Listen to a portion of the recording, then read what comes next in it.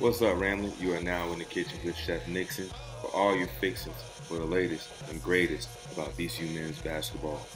So, VCU had a game. VCU was hosting St. Joseph. How'd it go? Let's get into it. All right, so St. Joseph, they come into this game uh, with a record of eight and eight, uh, 500. Automatically, you start thinking, okay, they're just a mediocre team. Um, they're coming off an 11 point victory over George Washington, and uh, what I discovered was uh, both these teams have something in common, um, and it's very, it's not, it's not something that you can just see by looking, just looking at the team, but they have something very in common. We'll get into that uh, a few minutes, a few minutes later, um, because they're both they're both talented. But we we we we look at uh, we look at their record, and it doesn't really display that. Um, but let's talk about let's talk about it now. So I didn't really see, I didn't really foresee St. Joseph's being a uh, competitive game for us, uh, just due to the fact that the record is eight and eight. The team is eight and eight. They're either not that talented or poorly coached. Um, and that's really not St. Joseph's. I'm not really sure what's been going on with them. Uh, I haven't been following them like that. Uh, but that's the same thing with George Washington. But I know George Washington is well coached. Um, I know that George Washington has talented players but for some reason it, it's just not it's just not meshing. Um, with this team, uh, St. Joseph, I think is more of learning how to win games, uh, and that it may seem it may seem weird to say this, but I think they're going to be a very tough team to beat come uh, come tournament time. They have, I think, they have that much talent, and I don't know if they need an extra player or if it's just they just need to tighten up on certain things to really make them pop, or maybe they have a player who's just not playing up to their ability, and they just need one more guy to, really step up and and they'll and there'll be some trouble in the A10 tournament. Uh, don't get me wrong, I think if you had to choose between St. Bonaventure or St. Joseph, you're gonna pick St. Joseph, but don't be surprised if St. Joseph uh, upsets somebody in the tournament. I wouldn't be surprised. Um, so VCU enters this game with a record of uh, 10 and 6. Um, they're trying to get back in the winning side of things after two tough, tough losses to the top teams in the conference. Uh, one being at Saint Ban- Saint uh, at Saint Bonaventure, excuse me, and one being at home against Davidson, a game that we should have won, um, but we just struggled doing the small things. Um, so they were trying they're trying to bounce back this game. Um, I spoke with multiple coaches um, before this game. I, I talked to to uh, to some of the GAs, some of the coaches, um, and I, I, got the same report back uh, from everybody saying that the, the, the practices have been good leading up to this game. The players seem locked in. Um, but they also uh, they also warned me that you know Saint Saint Joseph beat Richmond at Richmond by 30. But then they also lost to LaSalle. I mean, LaSalle. LaSalle. So um, you never know which team you're going to get. So I'm assuming that we're just going to come out there. We, are bounced back off two losses. We're we're trying to, you know, we're going to really put it on. Um, but after tip, I thought I'd been lied to, man. I thought I had been lied to. Uh, St. Joseph uh, opened it up to an 8-0 run. Um, I know that the crowd, I could tell at the sense that the crowd was anxious for us to respond. Shoot, I was anxious uh, to see, you know, what what we had, like like what's going on. Was it just was it just a run? Like you know, basketball always has uh, is a game of runs. Was that just a run where we where we shell shocked? Uh, you know, you know what, what what was it? But it turned out to be just a part of the game. Um, so we came back out and we uh, we fought real hard and we ended up taking the lead briefly.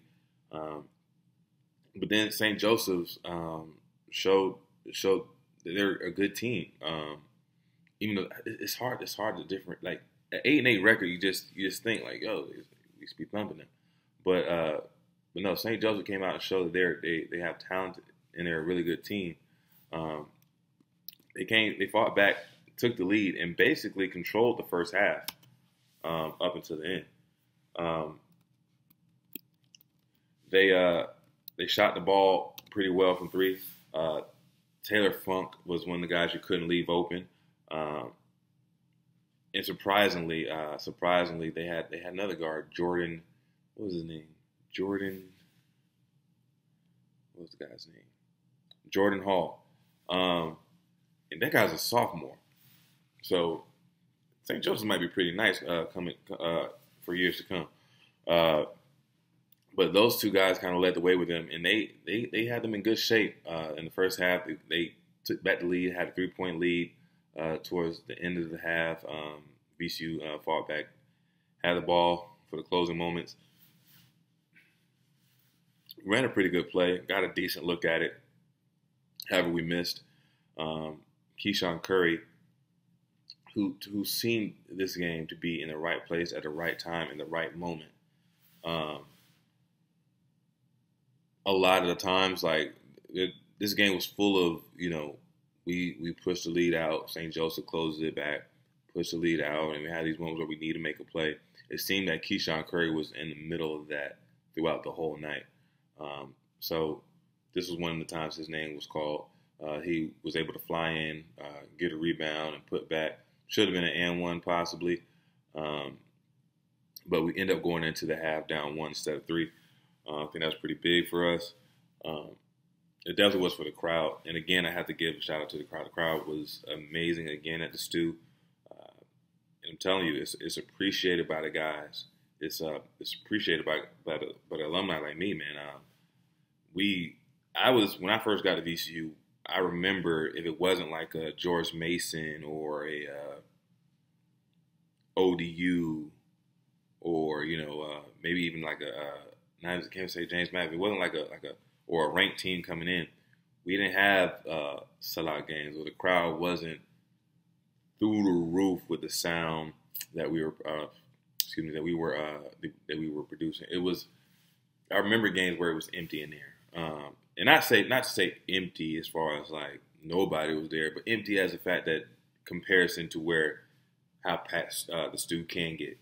Um, now, mind you, those were back when we had the core the core fans and the students um, for all the glitz and glamour that uh, that was soon to come.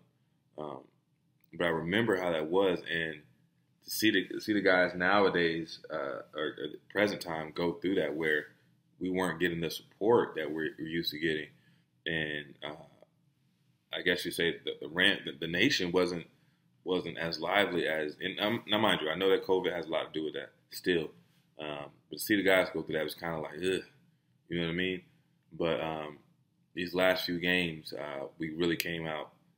The Ramley really came out. The Nation really came out in uh, in numbers, and uh, I'm pretty sure the guys appreciate it. I know the coaching staff appreciated it, um, and it just made the game a lot more lively and more fun. Um, so I, I, encourage everybody to continue to do so. Um, so coming coming out of half, uh, I was I was hopeful that we would we would come back and uh, dominate the second half like uh, like we're supposed to. I, like I, I believe that the St. Bonaventure game was, for lack of better words, BS. you know what I'm saying? Uh, I feel like we could play a, a, a, ton, like we could play a lot, lot better than what we did. Uh, I felt like our energy was was low. We came out flat. Uh, we made had a lot of mental mistakes and momentum momentum changing mistakes, which kind of took us out of the game. Um, I thought the Davidson game was a game that we should have won. Um, I think Davidson even thinks that we should have won that game. You look at all the things like we missed nine for twenty one from at the rim, you know that's uncharacteristic for any team, especially us. Um, so when I when I look at VCU and where I see VCU, I think that we're still top of the league. I think that we are just as good as St. Bonnie's, just as good as Davidson or anybody else. You know what I mean? We played we played Baylor, who was ranked in, in the nation. We played them tough. We played UConn. We, we played all these teams. So I'm I'm pretty sure that we're right up there. Um, we're right up there with uh, for the top of, of the A10. So I was expecting us to come out and really demonstrate that um, the second half, and I think we we kind of did and we kind of didn't, and we'll get we'll get in that later. Uh, so starting out the second half, um, we really put on put on our pressure that a lot of people really can't handle. Um, I remember there was a sequence where I believe Vince got a layup, they pass it in, still bucket by Nunn, and then they pass it in, still bucket by Ace, and then at this point in time, the Stu was going crazy. WrestleMania was going crazy. Um, both Hulk Hogan's, the Undertaker, Ric Flair, you know, you know what I mean. Uh, all the guys were going crazy. Shout out to Gary and those guys. Um, they bring a lot. They, they do bring a lot of energy. Um, so that was dope. And, and, at this point in time, I'm I'm expecting us to really put St. Joseph's away. I know it's early in the half and the game was full of runs. I, I do understand that but I was really expecting us to put them away. Uh, and we, eh, we were, we were like this. Great teams put it away. Arnold Henderson's playing the last five minutes, right? Um, but that wasn't the case, man. That wasn't the case. And uh, maybe I'm just a real fan of Arnold and I want Arnold to get playing time. But I just felt as if we let them off the hook. Uh, the remainder of the game, we had control of the game. Don't get me wrong, we had control. But there were times where we would just let them hang around. Just hang around like we would do. We we would we have a, a good stretch of plays. Then we have a stretch of bad plays, and we just let them hang around, hang around. Now, why is that a problem? Why is that an issue? We still had control of the game. Why is that an issue? Um, because good teams good teams or great teams when we play them, and we are going to play them. St. Bonnie's a great team. Davidson's a great team. Um, when we get to to the tournament, we're going to be playing all great teams. So when we play teams like that, we can't allow them to stick around because when you allow teams to stick around, that's how you get beat. For instance, Davidson. Davidson is just a great example of that. We had control of the game um, coming down the stretch, but the last five minutes because we let them hang around, they were able to go on a run, boom, and now we lose the game that we should have won. So, and that was kind of stressful. Davidson was still a little bit closer than this one, but uh, you get what I mean. Um, I just I just think that we should have put them away to the point where it was just out of reach, and I don't think we really did that as much as we should have or could have. Um, and I know that that can really bite you in in the tail. Um, I know I've been a part of it um, on both sides where like we would have the lead at half. My my junior year we did it all the time. We had the lead at half, had control of the game, and the down the stretch we would just fumble the bag and end up losing the game that we should have won. Um, so so that that's an issue with me. Um, but we ended up pulling the game out uh, with a victory of seventy to fifty four. Um, and I got to ask about like as a coach, I know that I know Coach Rose probably said this. Um, he's happy that we won, but that's about it. When you look at this game, um, remember we had we I had a conversation with you guys about how when we were whooping somebody, I can't remember who it was, and how we had to play to our standard, right? And I just don't think that the St. Joseph game we played to our standard. Starting out the game, we definitely weren't. We picked it up, and then we fell off. And then second half, we picked it back up, and then we really fell off. And it was just kind of like like this. We had to lead, but it was like this. It kept going back and forth, back and forth, back and forth. And I just don't think we played to our standard. And what what do I mean by that? Let's let's let's check it out. Let's look at these stats. Because I just I was looking up at the scoreboard and just keeping track of this the whole time. And I started I thought it was crazy. So let's look at turnovers. We had 20 turnovers. 20. And out of those out of those 20 turnovers, I don't think that St. Joseph's defense was forcing us into these turnovers. You know what I mean? I understand, like you guys are saying, Bonaventure, they have a really good defense. They will force you turnovers. You're passing the ball, you think it's there, and it's just not there. That's a forced turnover. Um, but this one was more so just bad decision making and and and overall just sloppy play. You know what I mean? I think that yeah, we're happy you're playing a St. Joseph's team that you can have 20 turnovers against to still win. But if you're playing to your to your style of play, if you're playing or to, I mean to your standard of play, if you're playing a, a top-notch team, 20 turnovers, you're going to get beat. You're going to get beat. And the rebounding match, I think we ended up winning by one. But if if you look at throughout the game, we were down on the rebounding and probably to like the last 10 minutes of, of the game or something like something around there. And it was just like, I mean, we won. So I, we we won the rebound rebound battle, but just just something to be conscious of. Like we gotta we gotta we gotta we gotta shake that up moving forward. Um, we gotta shake it up for our next game. You know what I mean? And then we still got St. Louis, we got Richmond. Um, you know, so and then we got the A10 tournament coming up. We we we gotta we gotta cut we gotta cut that out. We gotta cut that out. That that right there is gonna get you beat. That 20 turnovers will get you beat. It just so happened our defense, um, our defense was able to force them into 27. Um, and if I'm their coach, I'm having them run suicide until their legs fall off. That was just just a very sloppy game. You know what I mean? And if you look at it, I think we played we played down to their level. Twenty turnovers. Just looking at it again just made me like, yeah, wow, we were really sneaking it up. Um, at least in that aspect. Um, I think overall the game was decent, but in that aspect we we really struggled. Um, let's get into the stat leaders. Um, Vince Williams led the way. Mr. Do It All had 21 points, seven rebounds, and three steals. Um, in a charge, he has a charge every game. I want everybody to keep track of that. He has a charge every game. That is a low key stat, but it's a huge stat. And for your, the leader of your team to take a charge every game, the leading scorer, leading rebounder, take a charge every game, that's something to admire. That's something to applaud. Because taking the charge is a split second it's it's you got to think about it.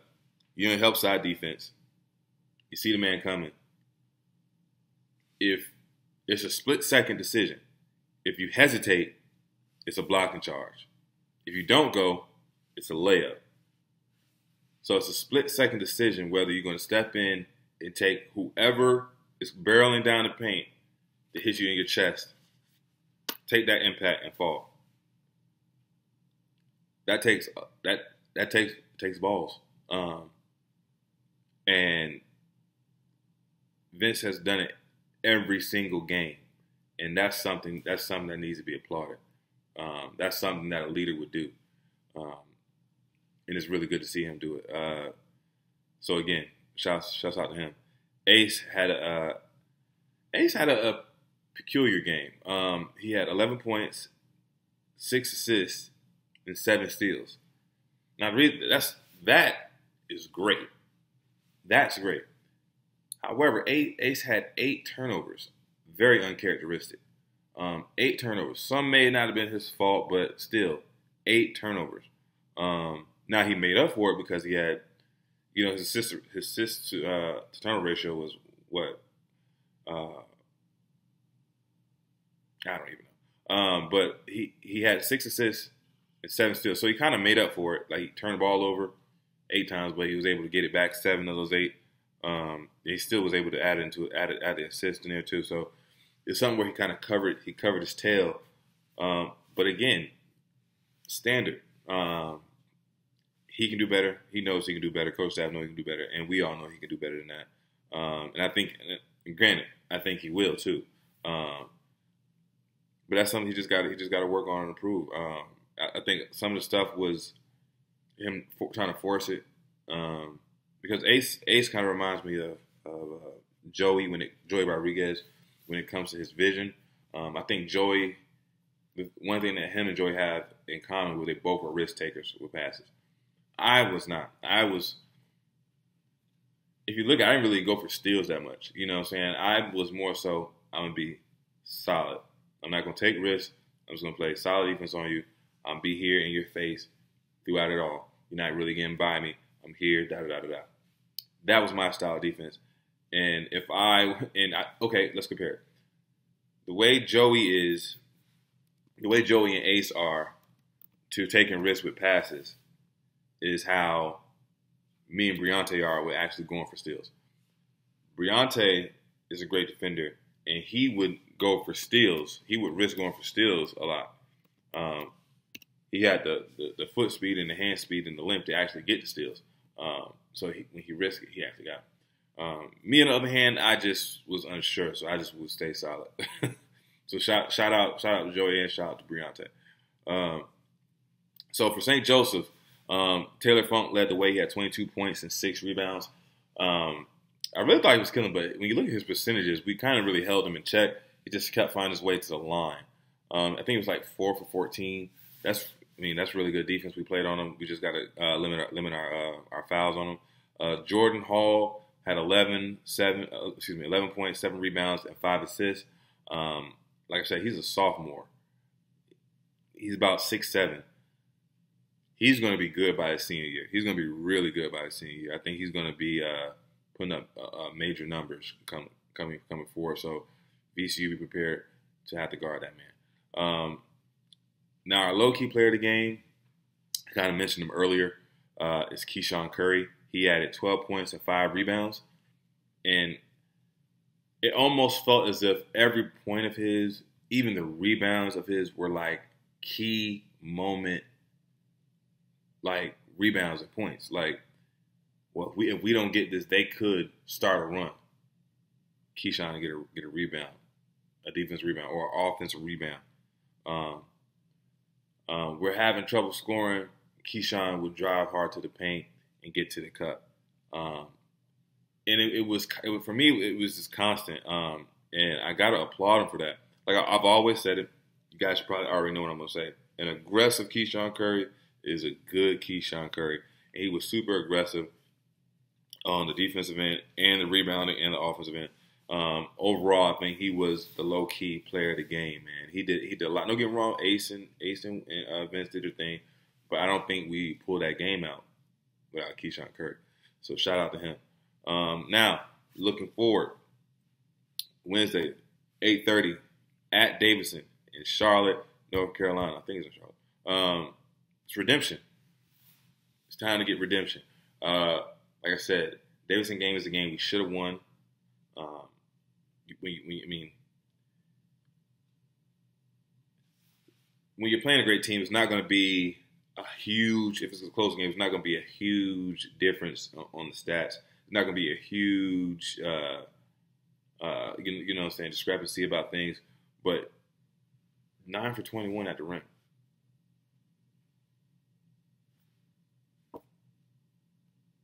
That's a lot of points. That's a lot of points left on the board. Um, I don't think we're going to repeat that. However, it's going to be harder to beat Davidson at home than it is at our home. I'm just going to be real with you. Um, it's going to be harder. So we're going to have to bring our A game in order to pull it out. You know what I mean? Davidson is a very well coached team. They have height, they have length, and they have shooters all around. The defense is going to have to be A1 like it was like it always is for the most part. You know what I mean? But offensively, we're gonna have to be able to put that ball in the cup. We're gonna have to. They're too good of an offensive team to just rely on our defense. Because sometimes, you know, our defense is gonna be perfect, and they're gonna have better offense. You know what I mean? The example of that was Ace being all over uh, number thirteen in the corner, and he just rises up, drains it. You know what I mean? So sometimes the defense is going to be great, but they're going to have they're going to hit tough shots. They're that great offensively. So we are going to really have to lock in and play physical, not only on the defensive end, but on the offensive end. And our bigs are going to have to produce. We're going to force them into turnovers. We're going to play good, good, uh, good pressing defense and good uh, half court defense. but our our uh, our offense has to be producing. Um, we can't we can't afford Ace to have eight turnovers. We can't afford uh, for Vince to not be Vince, um, and we can't afford for Hassan to miss X amount of layups. We can't afford uh, uh, Levi Stockard fading away from the basket um, on his post moves. You know what I mean? We, we just can't afford that playing Davidson at Davidson. We're going to have to play a complete game. And I think we can. And I think we will. So, like I always say, VCU, put seatbelt on and get ready for the ride.